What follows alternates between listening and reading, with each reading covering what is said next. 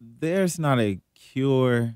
I mean, excuse me, there's not a disease that can't be cured Okay. in today's time.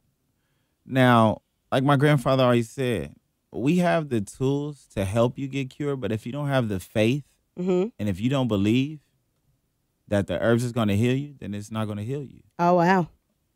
It start with faith with you. We have the tools to give you the minerals to heal you, but if you don't take minerals and if you don't have faith, then it's not going to heal you. But the herbs are healing a nation, and we save lives every day.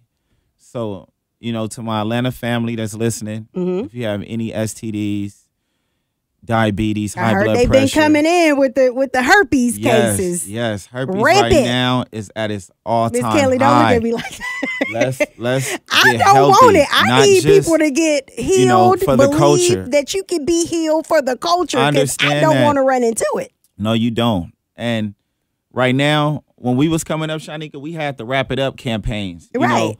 condoms was accessibles in high schools.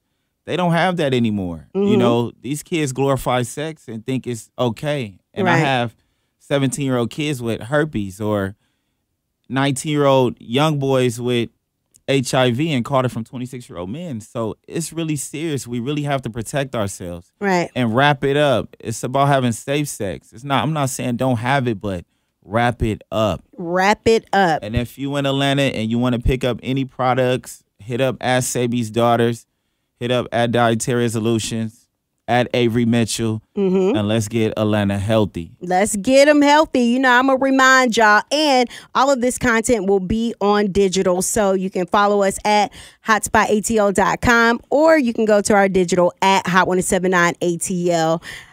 Miss Kelly, anything you want to say before we get up out of here?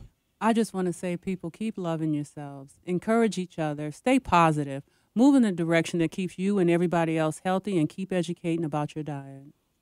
All right. Thank you so much for coming through. Hey, we appreciate you. All right. Keep it locked in right here. It's Atlanta's number one hip hop station. It's Hot 1079. What up, Amir? What up, Avery?